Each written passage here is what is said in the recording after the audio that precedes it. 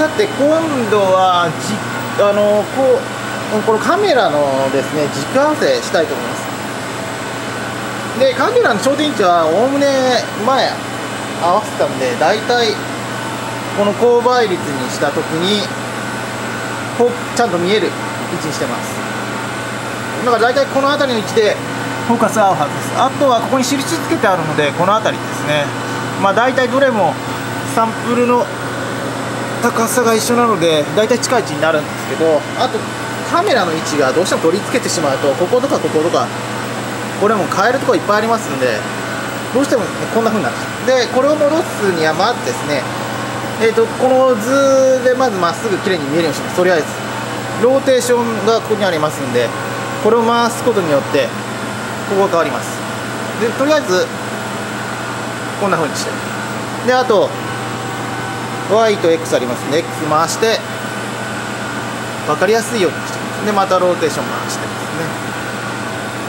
すね。でえーと、Y 軸を動かしてえーと、まっすぐ動くかどうか見ます。あこれたまたままっすぐ動かないですね。これはカメラがおかしいですね。でカメラここをこれをちょっと回転位置を変えてこれをこういうふうにして、えー、変えていくことですね。で変わっている方向に直していきますけどまあ何回か試行錯誤すればいくつかはできるようになるんで。変えてきます。ああこれたまたま送っちゃった。ああだいぶ良くなりましたね。でこうやってってえー、っと引いた線とが、まあ、ぴったり一致するように。本当はこの点ですね。最初にこういう縦線引いてない時はこの中心のところを適当につけてそれがまっすぐちゃんと動いていくからですね。ちょっとずれてますね。これが、えーと、カメラによるものなのかそれとも、えー、違うのかというのはちょっと難しいんですけどちゃんと調べていってでずれていかないかああずれてきますね。だからカメラがおかしいですね。でこれをずれを直します。ずれてる方向に直せばいいのであじゃなくてずれてる方向戻すようにすればいいのでえー、ちょっとよくわかんないですけどこうかな？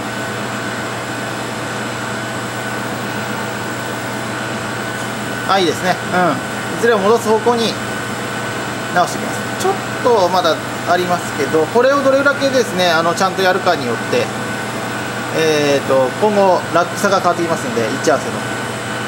できるだけですねしっかりと合わせていくことが大事です。ここ R ですね。R を回して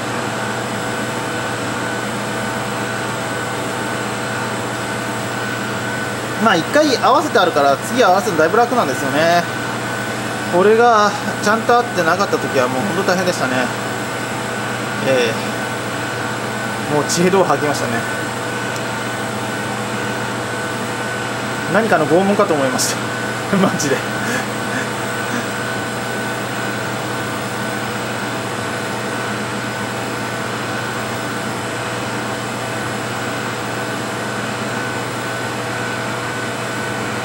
うん。おおむねいいでしょう。まあ大体いいんですけどね本当はね。ああいかんな。こんなずれとるとあかんな。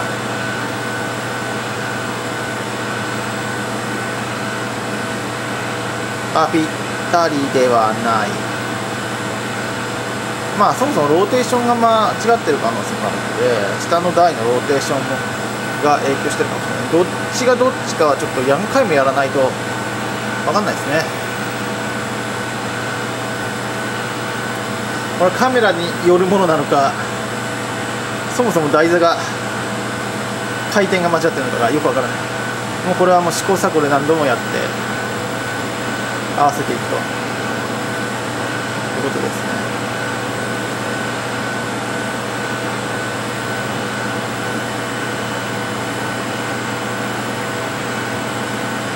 うん。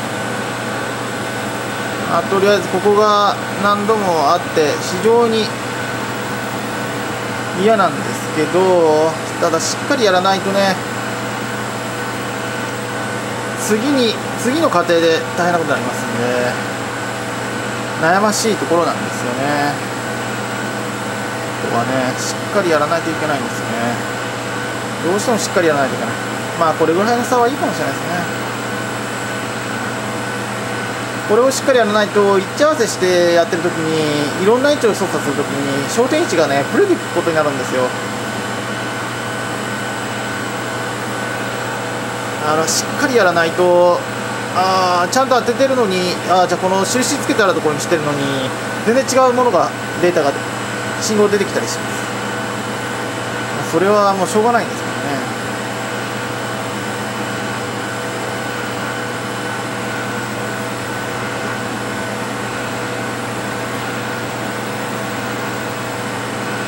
となんかフォーカス位置が書いてあるとこ変わってるな。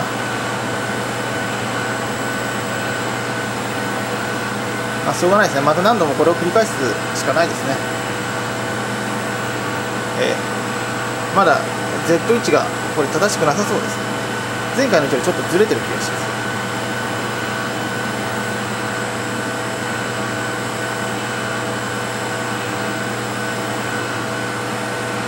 まあこうやって何度もやらなきゃいけないので非常に大変です。もうかれこれ6分ぐらいやってますよね。まあいいかな。ちょっと前書いた時と違うんでおそらく違ってんな。何が違うのかな。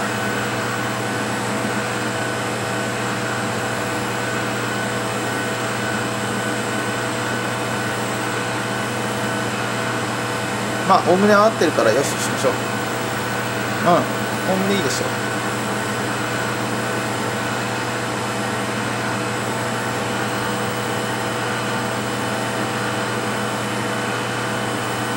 片手持ちながらはかなりきついですね。うん。でえー、っとこれで上下やって、えー、っと大体いい位置になりました、まあ、前回のね印があるのでこの横の位置もどこまで合わせればいいのってなので非常に楽なんですけど今回は。何もない時はこの点のところがこの縦線にまっすぐ変化するようにってところでやります。でこれが終わったら次はえー、と端の一番ですねあの穴の大きいところに移動します。でここの穴の大きいところに移動してで、えーと、強度が変わるかどうかですね。えっ、ー、とねコツとしてはとりあえずここに焦点まず合わせておきましょう。ああ焦点がね全然違いますね。あダメだ。いかん。あかん。焦点があれですね。えっ、とアップした時に同じところに 合わないとダメです。これはちょっとダメですね。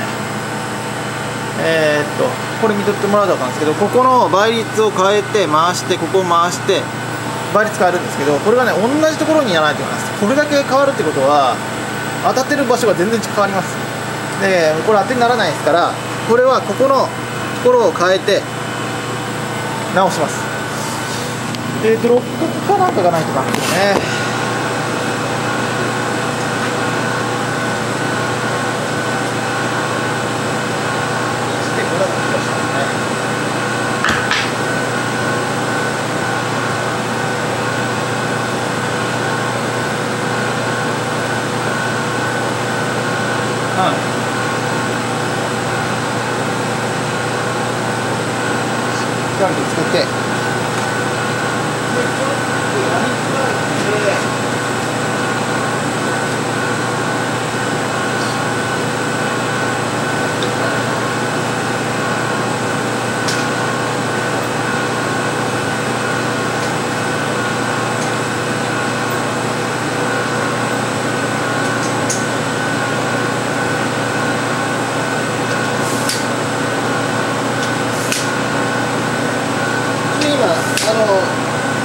ちゃく出ます。待ってください。これないとはもう大変だわ。ね今ちょっとセットしますんで待ってくださいね。三脚にセットしますんね。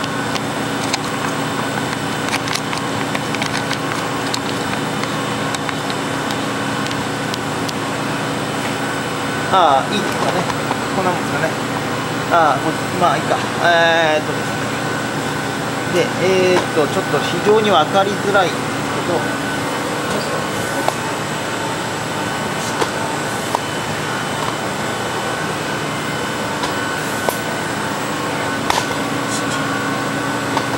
それでですね。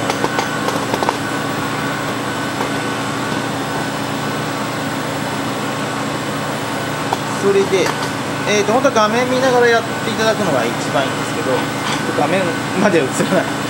えーととりあえずこれで説明しておきますとさっきも言いましたように穴入れます。確かね1.5ぐらいで良かったと思うんですよね六角をですね。でこれ倍率変えた時にえー、っとさっきもずれてましたね。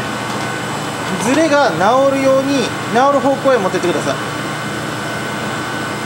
だからこれはえー、っとこっちの方向にずれていくんで当然ながらこっちの方向に動く動かしてくださ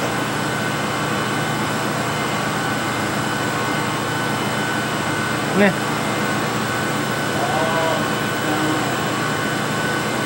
動くかな？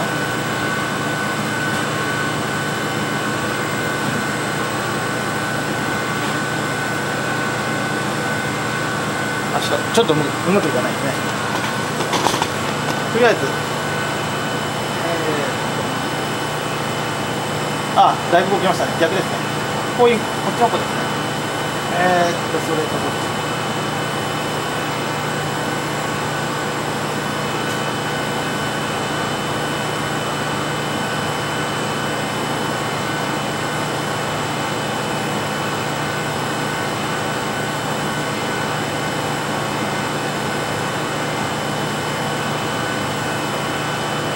あれ1.5では空回転してる気がするな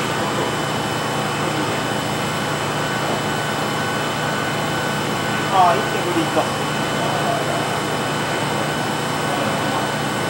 こうこういう感じですね。でアップしていくとだいぶ近くなった変異が少なくなる。この辺りまで持ってかないわかりますね。それをやらなきゃ。ハロー。ハロー。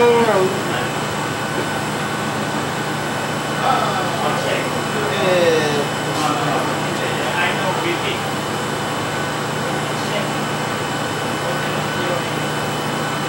こういう感じ。こういう感じで。なかなかね、うまくスムーズに見せられないんですけど、まあ、これはね、そんなにやる作業ではないんですよ、一回やってしまったら、また何ヶ月かやらなくて済むので、非常に難しいんですけど。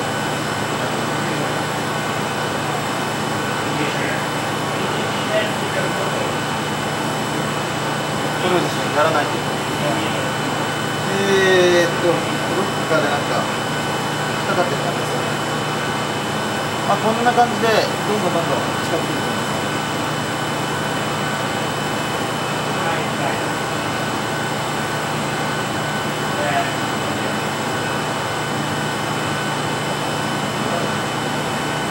さもうこれ以上いかない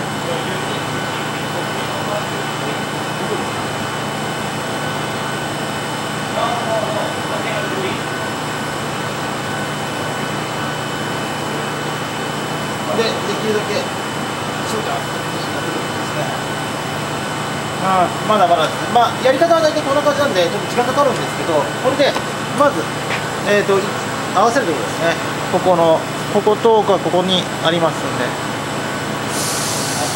やります。まあちょっと、この後、また説明します。